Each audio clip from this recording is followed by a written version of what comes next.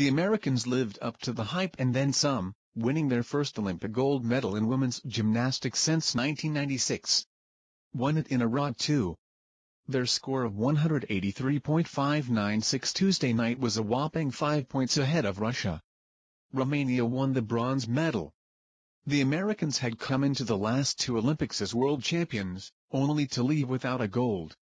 But this team is the strongest, top to bottom, the Americans have ever had, and the rest of the world never stood a chance. The U.S. opened with a barrage of booming vaults, held its own on uneven bars and pulled away on balance beam. By the time they got to floor exercise, the Russians were in tears on the sidelines, and the Americans turned the final event into a victory party.